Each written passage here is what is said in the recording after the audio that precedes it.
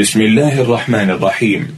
المكتبة الصوتية لمعالي الشيخ الدكتور صالح بن فوزان الفوزان. الحمد لله رب العالمين صلى الله وسلم على عبده ورسوله محمد وعلى آله وصحبه وسلم. اما بعد ارحب في هذا اللقاء بشيخنا مع الشيخ الدكتور صالح بن فوزان الفوزان عضو هيئه كبار العلماء وعضو اللجنه الدائمه للافتاء والذي يشكرنا هذه الأيام تلبية لإجابة إخوانه وأبنائه في الامتحان. وبذلا للنصيحة لإقامة بعض الأعمال الدعوية واللقاءات العلمية. وقد تتبع من فضيلته وفقه الله وسدده تلبية لاجتهاد الدعوة فنسأل الله تعالى أن يرفع قدره في الدنيا والآخرة وأن يجعل زيارته زيارة مباركة وأن يجزيه خير الجزاء وللشيخ وفقه الله سدد بعض التوجيهات لإخوانه وأبنائه المنسوب لقطاع الأمن العام فليتفضل جزاه الله خيرا.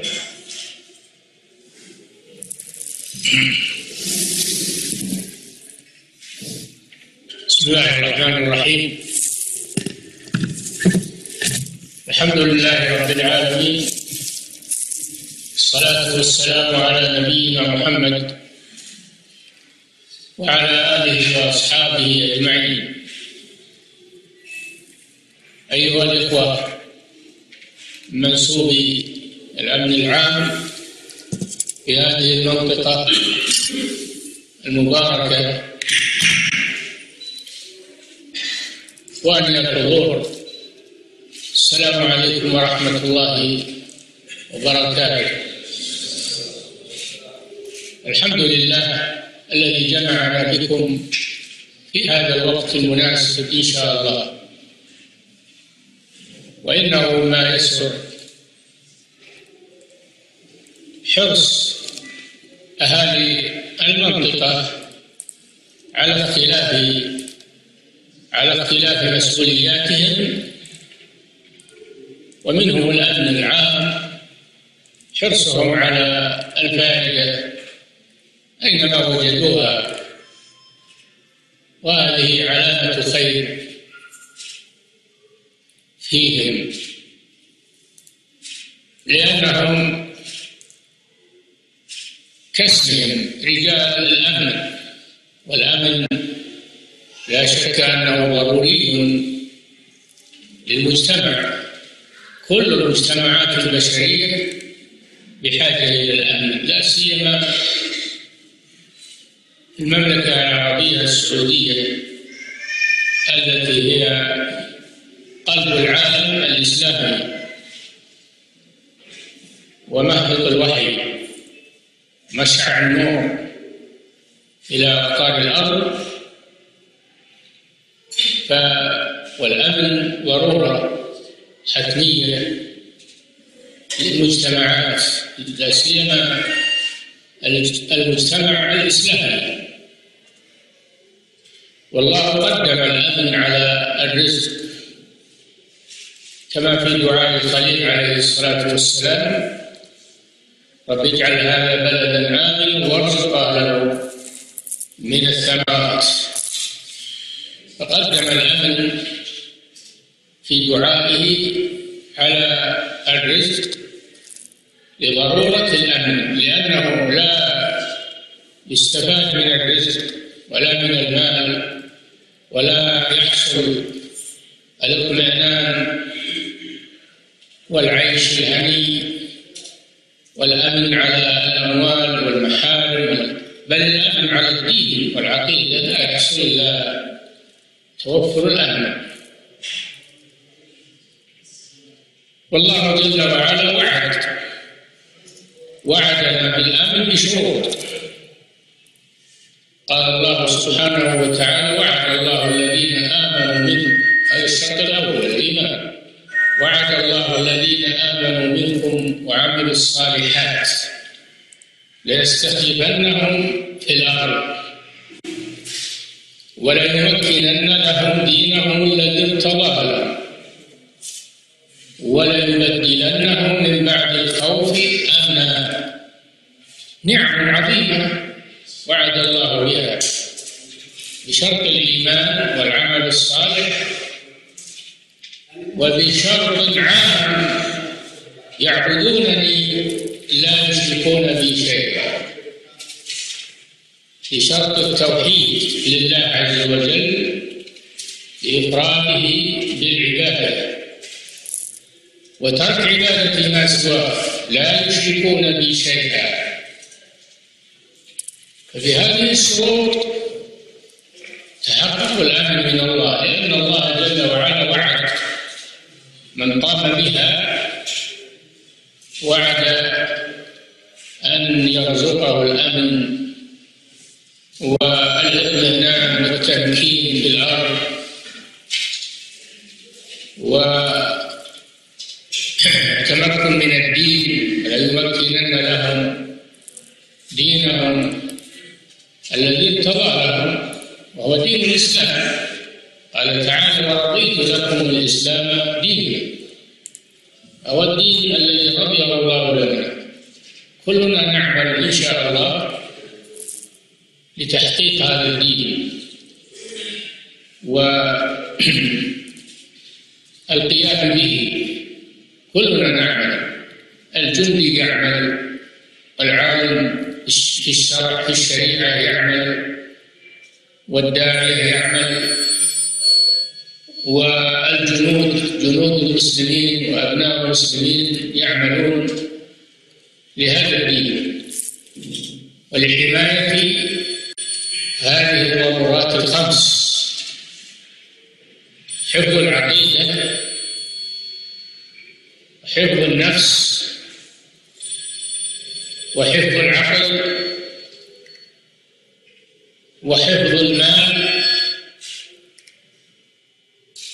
وحفظ النسب. حفظ النسب.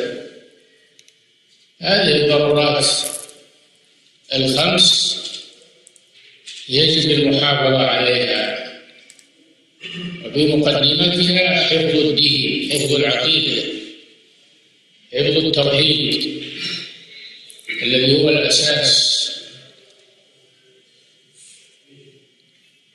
وكلنا على اختلاف أعمالنا ومسؤولياتنا كلنا نعمل لهذا الدين ولهذه العقيدة. ولحفظ هذه الضرورات الخمس.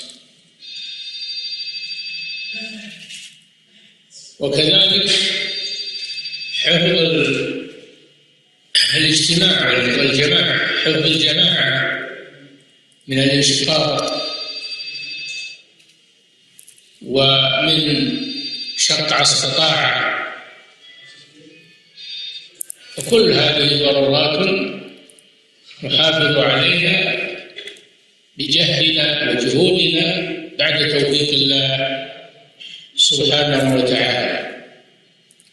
وأنتم أيها الجنود في مجالكم أنتم على ثغرة عظيمة. أنتم على ثغرة عظيمة. لحفظ هذه الضرورات على المسلمين.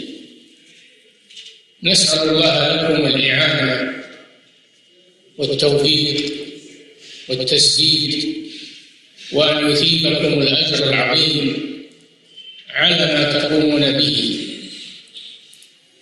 وفي الحقيقة كل كل مسلم فهو من رجال كل مسلم. فهو من رجال الأمن تعاون وإن لم يكن رسميا فهو يتعاون مع الرسميين لأن الأمن للجميع. ليس لفئة معينة أو لشخص معين الأمن للجميع. وكل مسلمين كلهم رجال الأمن. لكن منهم رجال الأمن رسميون ومنهم رجال أمن محتسبون. لأن الأمن للجميع. فالمسؤولية عظيمة ولكنها تسهل مع توفيق الله سبحانه وتعالى تسهل إذا تذكر المسلم أنه يخدم دينه ويخدم إخوانه يخدم بلده. فإنه يسهل تسهل عليه المهمة. إذا نظر إلى ما يترتب عليها من خير تسهل عليه بإذن الله. والله في عون العبد ما كان العبد في عون أخيه. والله جل وعلا قال وتعاونوا على البر والتقوى وقال موسى لقومه عليه السلام عليه الصلاة والسلام استعينوا بالله واصبروا. إن الأرض لله يورثها من يشاء من عباده والعاقبة للمتقين. وأنتم في جهاد. ليس الجهاد مقصورا على خوض المعارف. نعم هذا رأس الجهاد ولكن الجهاد يتنوع كل ما فيه حماية لهذا الدين ولمصالح المسلمين فهو جهاد في سبيل الله. فأبشروا بالخير و تناصحوا فيما بينكم وتشاوروا فيما بينكم في مهماتكم وعليكم بالرفق في مواضع الرفق والقوة في مواضع القوة. ليس الدائم ولا القوة الدائمة وإنما كل شيء في موضعه. بعد تقوى الله سبحانه وتعالى أول شيء تقوى الله. لا يكون للإنسان هدف غير تقوى الله سبحانه وتعالى وحماية المسلمين ونصرة هذا الدين. فأنتم بعد الله سند لكل مسلم في أداء المهمات. الناس ينامون في بيوتهم آمنين بسبب وجودكم بعد توفيق الله عز وجل. فالله جل وعلا وعد أن يؤمن من آمن به واستقام على دينه ولكن لا الأمن لا ينزل من السماء بدون سبب لا بد من أسباب تبذل للأمن لا بد من أسباب تبذل للأمن قال تعالى وأعدوا له ما استطعتم من قوة من رباط الخيل. ترهقون به عدو الله وعدوكم وآخرين من دونهم لا تعلمونهم الله يعلمهم فلا شك أن الأمن والنصر لا ينزل بدون سبب من بدون سبب يبذله المسلمون. فإذا بذلوا الأسباب المناسبة. وفق الله جل وعلا لنفع هذه الأسباب. مع التوكل على الله يبذل السبب مع التوكل على الله. فلا يعتمد على السبب ويترك التوكل على الله. ولا يعتمد على التوكل على الله وترك السبب. لا بد من الأمر. النبي صلى الله عليه وسلم وهو سيد البشر وهو الذي وعده الله عز وجل بأن يحميه من الناس. كان يعد العدة حتى بنفسه كان يلبس آلة الحرب والمغفر يحمل السلاح. مع أنه محفوظ بحفظ الله عز وجل. ولكن لابد من فعل الأسباب. لابد من فعل الأسباب النافعة. والأسباب كما تعلمون أسباب كثيرة متنوعة وكل شيء له أسباب تناسبه.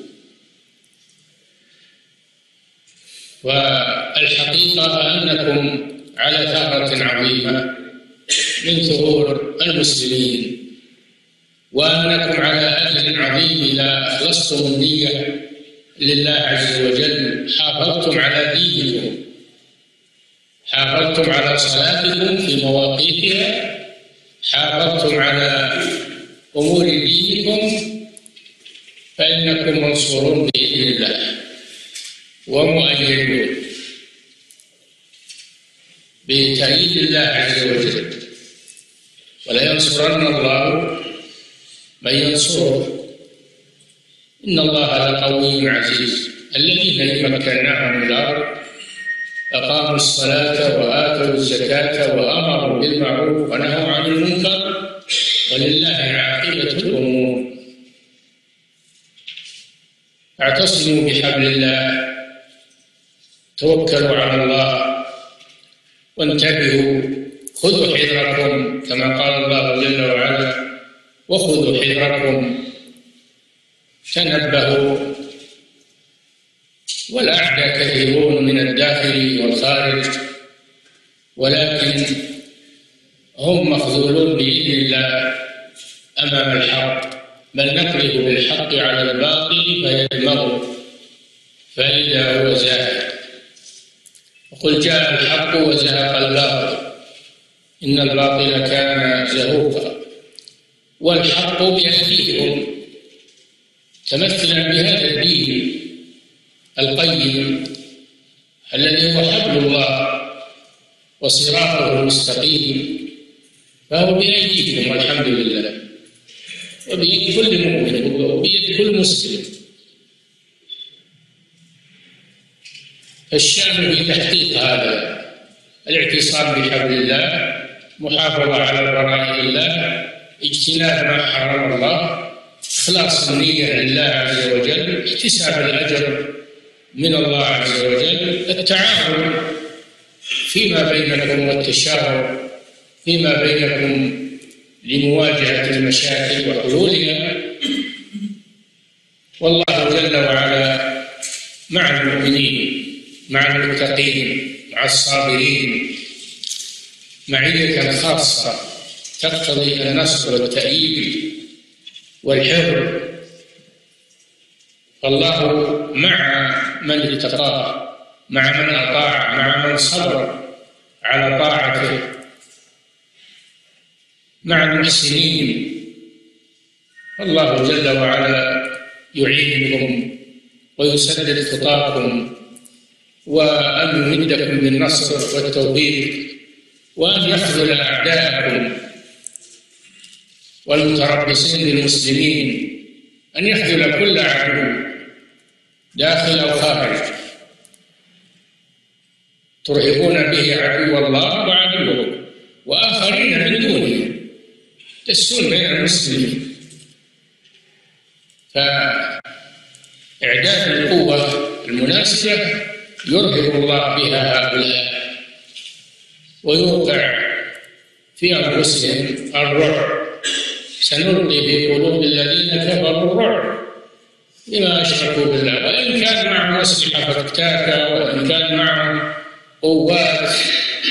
ولكن الله يلقي في قلوبهم الرعب بكفرهم. أنهم كفار. كما أنه يلقي القوة في قلوب المؤمنين لأنهم مؤمنون. فنحن والحمد لله ما دمنا متمسكين بديننا معتصمين بحبل الله ما دمنا متماسكين فيما بيننا ما دمنا مناصحين لولاة أمورنا وقائمين بما وكلوه إلينا على الوجه المطلوب ما دمنا كذلك فإننا نرجو النصر من الله والتوفيق من الله. صلى الله وسلم على نبينا محمد وعلى آله وأصحابه أجمعين.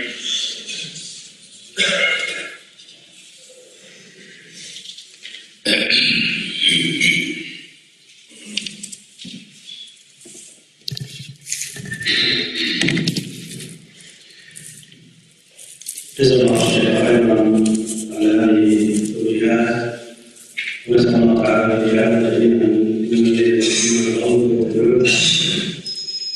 وقبل قراءه الأسئلة لو طرأ سؤال لأحد الحاضرين فله ان يسعى تسمح لنا؟ نعم. يقول هنا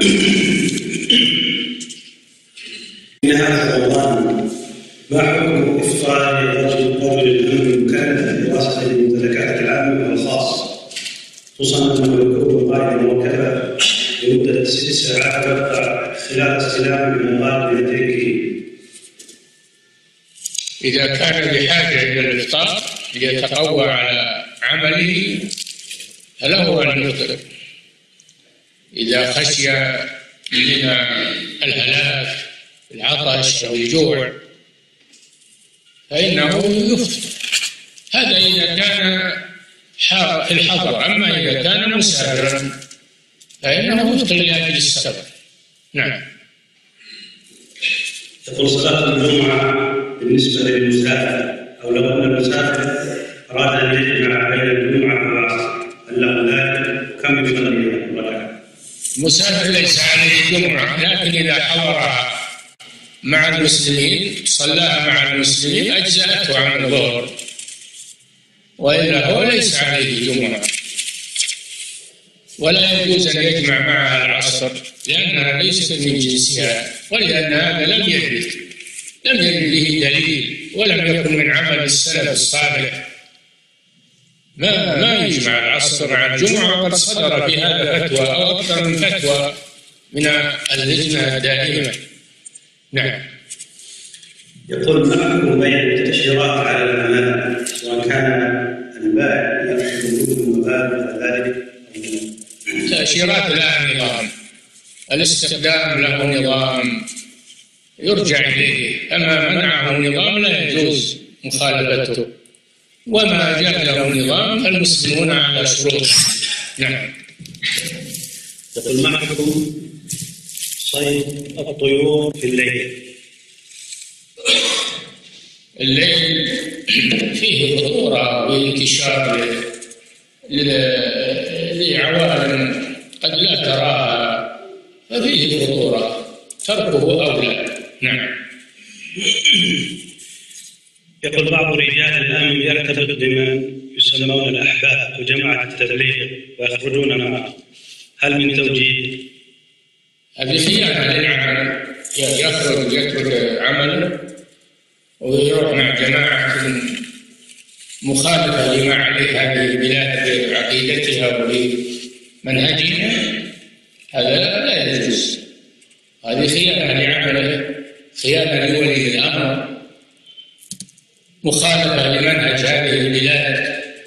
هذه الجماعة ليست على منهج هذه البلاد لها منهج خاص. نعم.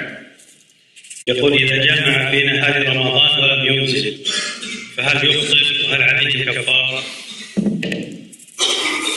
بلا شك أنه إذا جامع وأولد ولو لم ينزل تترتب عليه أحكام الجماع من الاغتسال ومن الافطار ومن الكفارة المغلظة نعم يقول إذا كان إذا حج الشخص قائلا وحضر إلى مكة في اليوم الثاني ثم رجع إلى جدة ومعه زوجته فهل له أن يجامع قبل الحج أم لا؟ القارن القارن محرم إلى ان يعمل الحج يوم العيد القارن محرم أما إذا كان متمتعا وأدى العمره وتحلل منها. فله أن يجامع زوجته قبل أن يدخل في الحج. قبل أن يحرم بالحج. في الفترة ما بين العمرة والحج له من جامع زوجته هذا المتمتع أما القائم فلا يزال بإحرامه من الميقات حتى يؤدي مناسك الحج يوم العيد أو ما بعده. نعم. يقول ما حكم من قال اتوكل على الله ثم عليه؟ لا التوكل هذا خاص بالله. أما التوكيل هذا يجوز.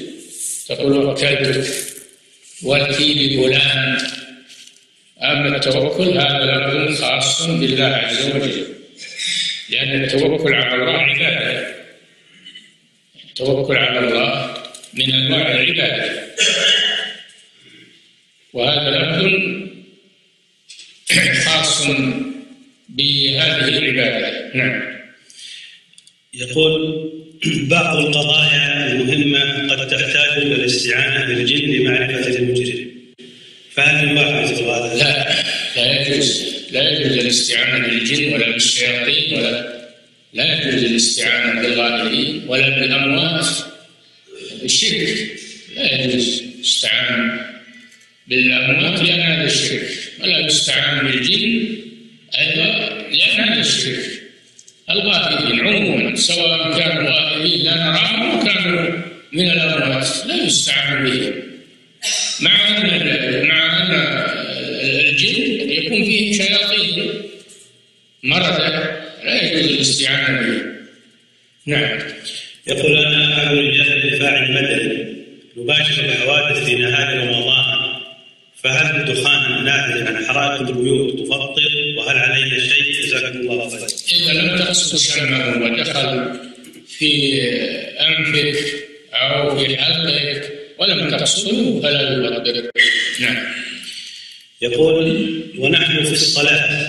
إذا سمعنا جرس الحوادث هذا من رجال الدفاع المدني هل نقطع الصلاة؟ إذا كان هناك خطر يقتضي قطع الصلاة لإنقاذ غريق أو انقاذ إنسان من من موت فتقطع الصلاة نعم والشق الثاني السؤال وهل لنا صلاة الجمعة داخل المقر العسكري إذا كنا مستلمين ومرابطين؟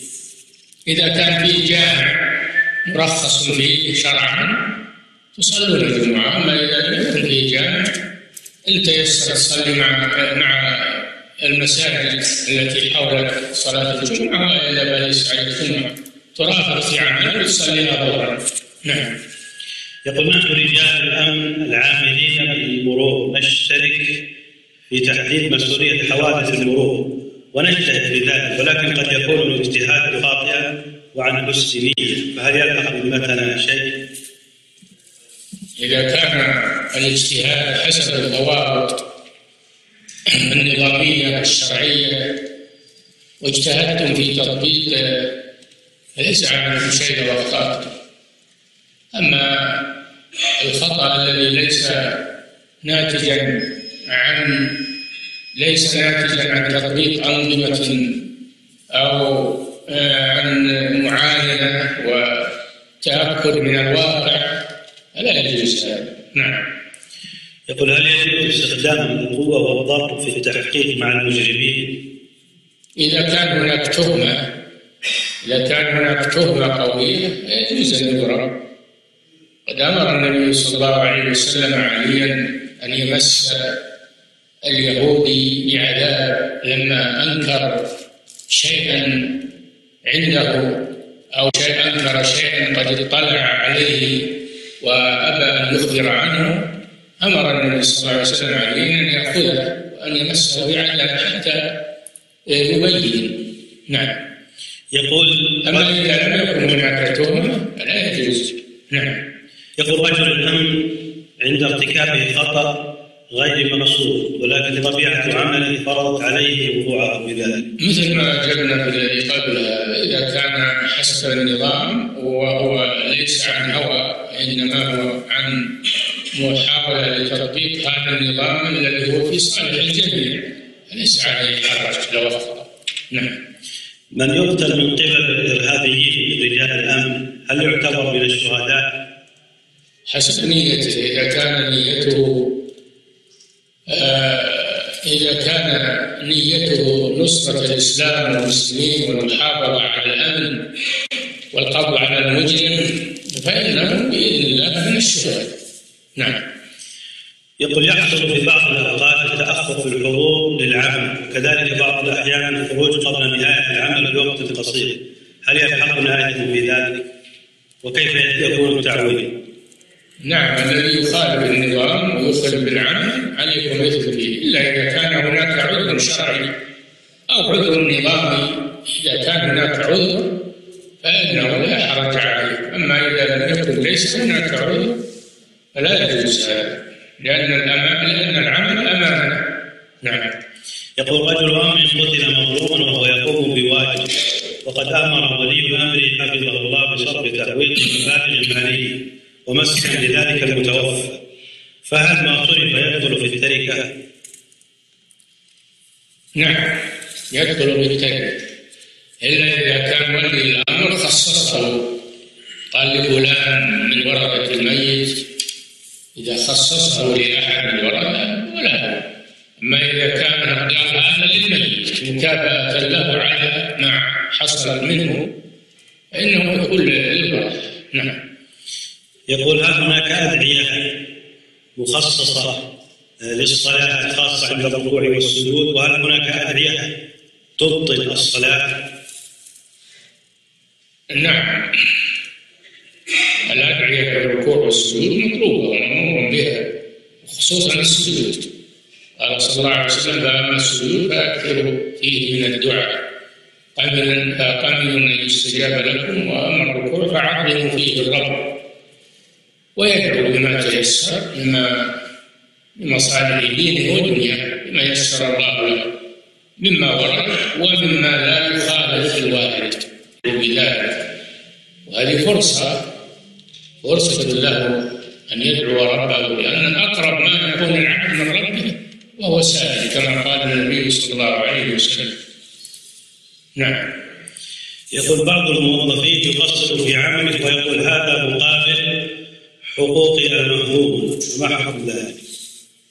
لا الواجب يطالب بحقوقه ولا يقصر بعمل ان يؤدي العمل الذي عليه ويطلب الحق الذي له. نعم. يقول ما هي الكتب التي تنصحون بها والتي تناسب حال المبتدئين في تحصيل العلم؟